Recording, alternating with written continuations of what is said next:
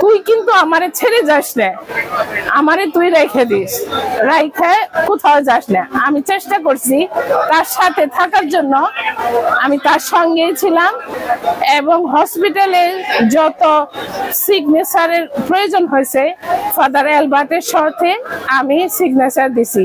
আমি তার বড় ভাস্তি হিসাবে এই সেবাটা করতে পেরে আমি ঈশ্বরকে ধন্যবাদ দিই। আমি নুপুর গমেজ, ফাদার আবেলের বড় ভাস্তি। আমি ফাদার আবেলের পালক ভাস্তি। আমার দুইটা বাবা, দুইটা মা। একটা আমার জন্মদাতা, একটা আমার পালক পিতা।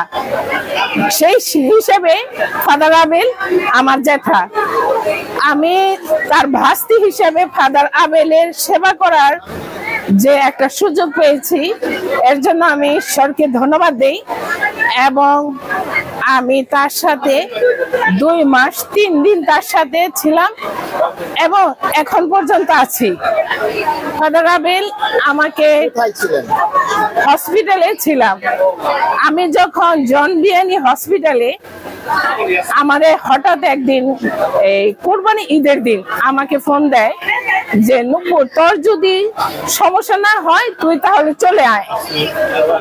আমি তো হসপিটাল আমি বাড়িতে, বারে বারে একই কথা, যদি কোনো সমস্যা না থাকে, তুই চলে আয়। আমি পরে, পরের দিন, কোরবানি ঈদের পরের দিন, আঠারো তারিখ, আমি ঢাকা যাই। সেই আঠারো তারিখ থেকে এখন পর্যন্ত আমি আমি মনে করি আমি তার সঙ্গেই আছি। আমারে বারে বারে আমার জ্যাঠা বলে আমার সবসময় মা হিসেবেই গ্রহণ করছে। মাই বলতো সব সময় এবং আমাকে বলে নুপুর মা, তুই কিন্তু আমারে ছেড়ে যাস না। আমারে তুই রেখে দিস। রাইখে কোথাও যাস না। আমি চেষ্টা করছি তার সাথে থাকার জন্য। আমি তার সঙ্গেই ছিলাম, এবং হসপিটালে যত সিগনেচারের প্রয়োজন হয়েছে, ফাদার অ্যালবার্টের সাথে আমি সিগনেচার দিছি। আমি তার বড় ভাস্তি হিসাবে এই সেবাটা করতে পেরে আমি ঈশ্বরকে ধন্যবাদ দিই এবং ঈশ্বরের কাছে প্রার্থনা করি, আমার জ্যাঠাই যেন যেখানে আছে সেখানে যেন ভালো থাকে, ঈশ্বরের সান্নিধ্যে স্বর্গ লাভ করে। তেজগাঁ গির্জায় যে এত লোক হয়েছে আমি দেখে, আমি কি বলব, আমি আপনাদের বোঝাতে পারতেছি না। আমি বিশ্বাসই করতে পারতেছি না যে তাকে এত ভালোবাসে।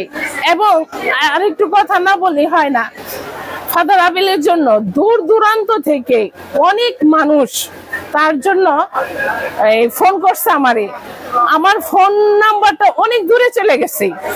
মানে আমার মনে হয় সারা বিশ্বে আমার ফোন নাম্বারটা চলে গেছে। ফাদার আবেলের সাথে আমার ফোন নাম্বারটা চলে গেছে।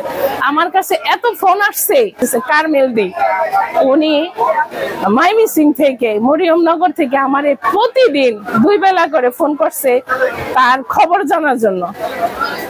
এইভাবে তার অনেক মানুষ তারে অনেকেই করছে। এই আমি আর কিছু বলতে পারতেছি না।